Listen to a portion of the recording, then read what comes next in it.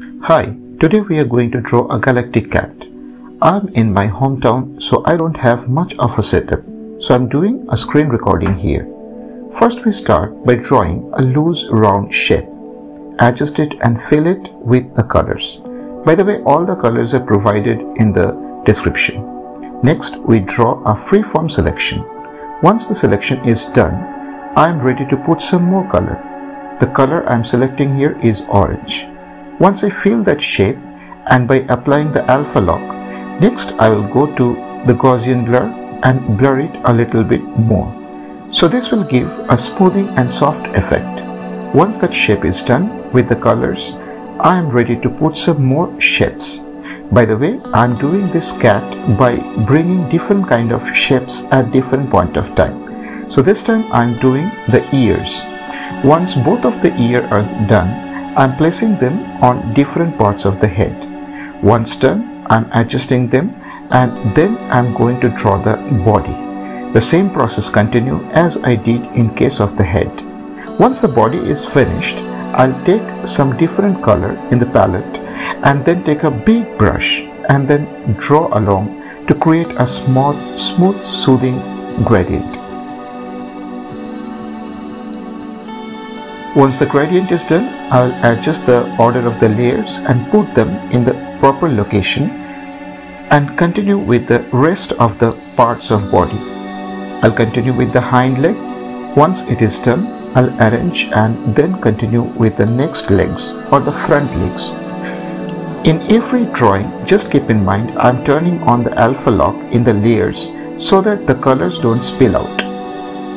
I'll continue doing a duplicate of the same leg and create the illusion of the front leg and which is on the other side of the body. Once done, I'll change the layer order to keep the proper form and shape. Next, I'll draw the tail and fill it with the same different color from the color palette. Just keep in mind, choose random colors and don't be afraid to experiment. Next, I'll create the different parts of the different stripes of the body. I'll be applying masking technique. So what is masking technique? Depending on all this information, I'll be bringing a video very soon. So for now, I just masked it out and made the stripes. Next is time for the eyes. So I'll keep two shapes and fill them with black. Duplicate the layer to create both of the eye transform them and move apart to create the eyes. Once the eyes are done, next I'll move and create some shape of nose and fill it with a color from the given color palette. Once all these shapes are done, I'll select them all and group them and name them a cat. So we are done with the cat for now. Next, it's time to create the galaxy or the nebula of different colors so for this, just go forward and experiment with the different colors which are provided in the palette. For now, I am choosing different kind of peanut shape and filling them with different colors. In all the cases, just don't forget to turn on the alpha lock.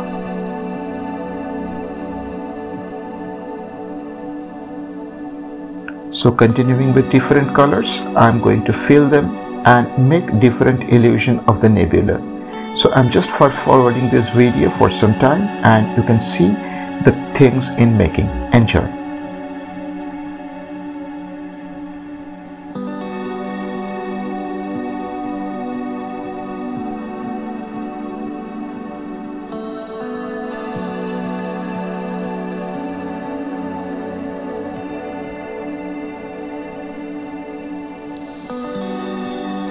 Once these things are done, next I'll be changing the layer mode to experiment a little bit more, creating an illusion of transparency.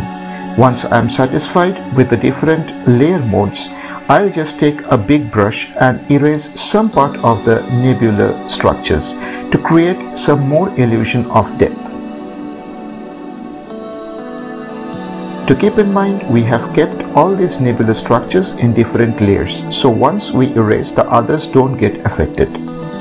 Once it is done, we group them and name it a layer called nebula.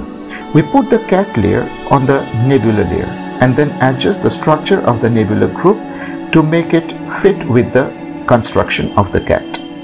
Once it is done, next I'm using my personal favorite ABA star brush to create the small starry structures all around. By the way, the star brush is included in the description. You can go ahead and download it.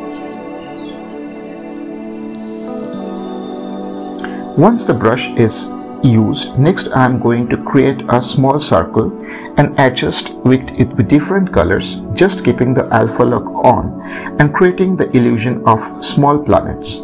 I'm copying the different parts, these planets to create the depth of near and far by varying the structure or the size of this planet. I'll do some adjustments of the hue saturation to create an illusion of differentiation in between themselves. I'm also creating a gaseous structure like the Saturn to give some more edge to this particular planet. Once this is done, our galactic cat is ready to rock. I hope you liked the whole video and please comment what you want to more, learn more. Thank you and let me know how you enjoyed the video. See you in the next tutorial. Bye bye.